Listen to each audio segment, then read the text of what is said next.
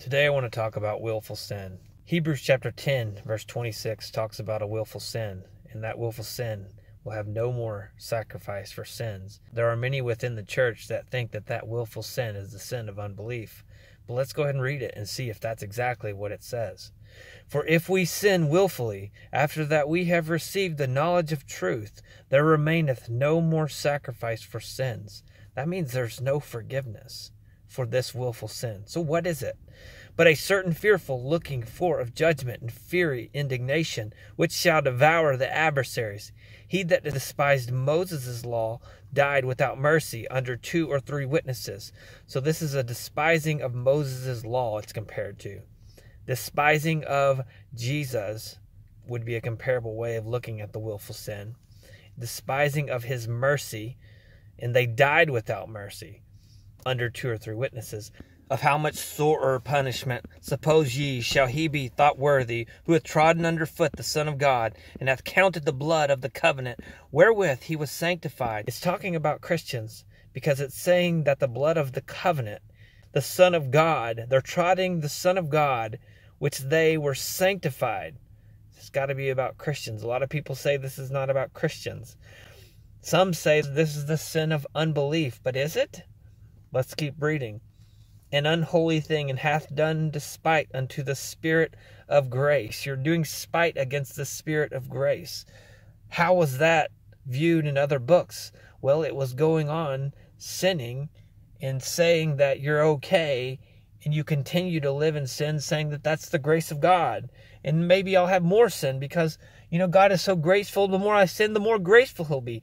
That is despising the Spirit of grace. So, what can this possibly mean? Is it possible that everybody has this wrong and that the willful sin here is the unrepentant sin? Is it possible that the, the willful sin here is the sin that people continue to live in? Are you living in a willful sin? Do you know that you have sin? Are you broken about it? Are you sorrowful?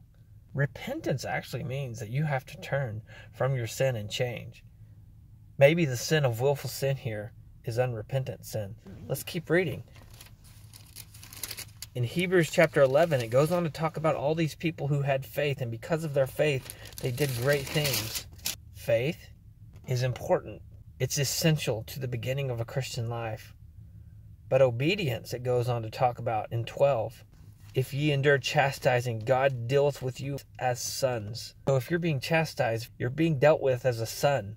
For what son is he whom the Father chasteneth not? Your Father disciplines you. Why would a Father discipline you? Hebrews goes on to talk about this idea of discipline. The Father is disciplining you so that you will humble yourself and repent. Furthermore, we have had fathers of our flesh which corrected us. We gave them reverence. Shall we not much rather be in subjection unto the Father of spirits and live?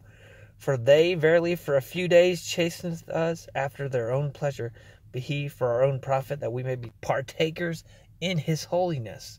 So the whole point of discipline is so you would repent, so you could be holy and clean. So that you would not be found like Judas, who had uncleanliness inside of him. He was a thief and he would steal the money. Because of that, he ended up betraying Jesus for 30 pieces of silver and he died. He hung himself. Holiness is the cleanliness. It's being clean from sin. How can you be clean from sin? Jesus did not say that he just came to die so that you could be free from sin forever and ever without any more repentance. Repentance was never done away with. Repentance is essential. Pastors have forgotten the teaching of repentance. God chastens you and disciplines you so you can be holy so that you will repent of your sins, so you'll humble yourself in the sight of God and turn from your wicked ways. There is no other teaching in the gospel other than the repentance of sin. Jesus is your high priest. You can come to him. He will forgive you when you ask for forgiveness and you turn. But if you don't turn, don't expect forgiveness. It says in Hebrews 12 14, follow peace with all men and holiness, without which no man shall see the Lord. No man, without holiness, no man will see the Lord. How can you come about having holiness? The Bible says that you're disciplined as a son. So not all sons will end up being holy. Looking diligently, lest any man fail of the grace of God, lest any root of bitterness springing up trouble you, and thereby many be defiled. This is talking to Christians. Lest there be any fornicator or profane person as Esau, who for one morsel of meat sold his birthright. For ye know how that afterwards, when he would have inherited the blessing, he was rejected, for he found no place of repentance, though he sought it carefully with tears. Guys, repentance is not just crying and being sorrowful. Repentance, when you find it, you turn away from your sin. There was an object lesson in churches when we were kids, and the pastors would come and teach a lesson about repentance. And they would use a little car, a little kid car, and they would explain this message of repentance. And they said, This is repentance when you turn around this car and you go the other direction. Guys, there is no forgiveness of sin. The sacrifice of Jesus will not save you if you don't repent and turn from your sin. The point of Jesus and his cross is that you would turn back. And so terrible was the sight that Moses said, I exceedingly fear and quake. There is no fear and quaking in the church anymore. The doctrines of men have taken over our churches. The doctrines that you cannot lose your salvation have taken over the doctrine of repentance and turning from your willful sin so you can have forgiveness. We have modified our truths to adapt to a sinful world. The world is telling you you can be okay.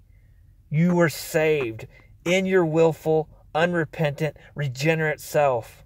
But the truth of the gospel is Jesus died so you could be set free.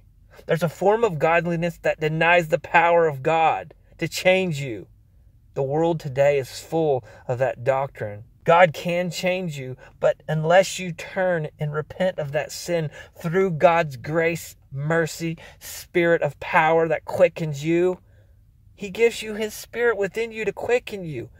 You have no excuse to continue in your sins. If you're not hearing God, it's because there's willful sin in your heart and you're not being forgiven from that.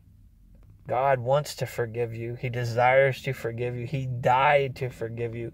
His blood washed clean in your life to forgive you. But if you don't have a sorrowful heart and repent and turn from that sin through His blood and the quickened spirit that He gave you, there will be no forgiveness of your sin.